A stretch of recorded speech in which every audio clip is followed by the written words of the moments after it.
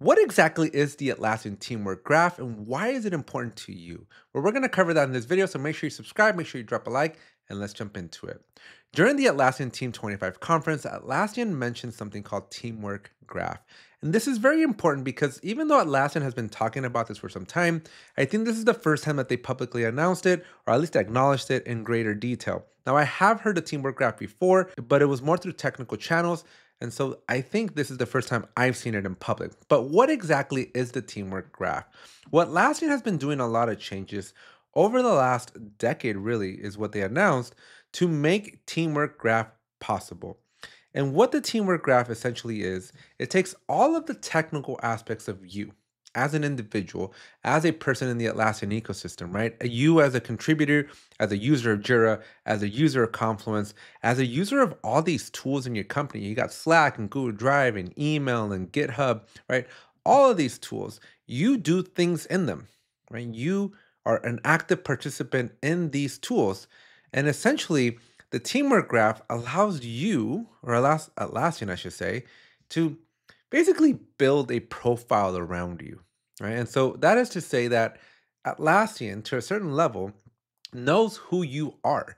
It connects how you do it with what's important to you. And the teamwork graph is important because it basically creates a persona, if you will, of your information, not only within the Atlassian tools, but within all the tools that your company may or may not be using. And this, my friends, is what's super critical and super important about the teamwork graph because each individual is basically creating this experience that Atlassian knows about. And then their tools like Rovo can now tap into it.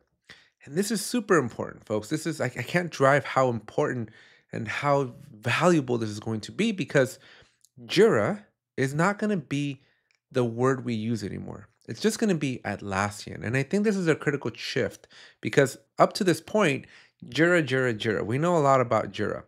But Atlassian as a as a whole is shifting. And this teamwork graph is that first shift. And it's important because Atlassian, in a non-creepy way, will know everything about you. And by having this information about you, it can answer any question about you. And the AI experience is not going to be a guessing game, but it's going to be a game based on your customized experience. And Atlassian's doing this in, in a very clever way. So they're creating within Jira a new experience called basically what they're calling home. And this homepage is going to be your new entry point into Jira. And so rather than going to just find your work that's important for you, Atlassian's truly going to build a tailored and customized experience for you. So it's not just a simple what tickets are assigned to me, but rather what what am I working on? What meetings have I been to? Where what meetings have I been mentioned in?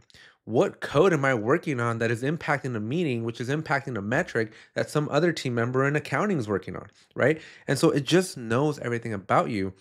And it's going to make finding what people need from you and how you can help your team and how you can all work together as a team, it's going to make that so much easier. And I'm really, really, truly excited for this. I think this is a really, really interesting thing that Atlassian is going to be working on here. And I had an opportunity to sit down and ask Mike about how he sees all this play out in the future.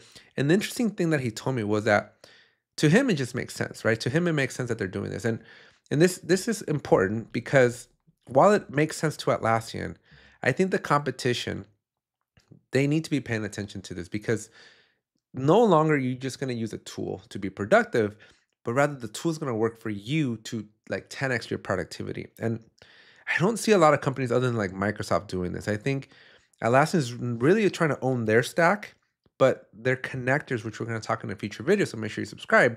Their connectors allow Jira, eh, it's or just Atlassian, right? Know what house you're working on and their tools are interconnected, but not just their tools like Jira, Confluence, and Loom, but even external tools like Slack and GitHub and, and email and PowerPoint, right? Like all these tools are interconnected now with Rovo, and that experience is going to be very magical. And I, I, I don't see any other company doing or performing at this level. And I think it's going to set Atlassian apart. And I think it's going to leave a lot of competitors behind because while a lot of competitors are focused on AI, awesome.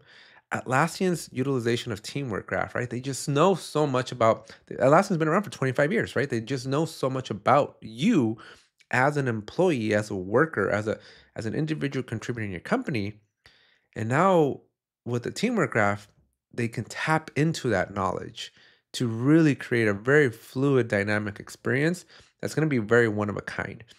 So I'm very excited to see where Atlassian goes with this teamwork graph. And they had to do a tremendous amount of re-architecting here, right? So Jira didn't used to be this way. Jira used to be a very siloed tool that basically Jira's data was in Jira and Confluence data was in Confluence.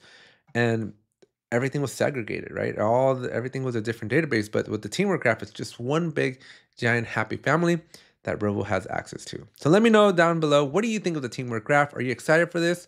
Is this something that you think is going to take your team to the next level? Let me know down below. And if you found value to this video, make sure you hit that subscribe button, make sure you hit that like button, and we'll see you in the next one.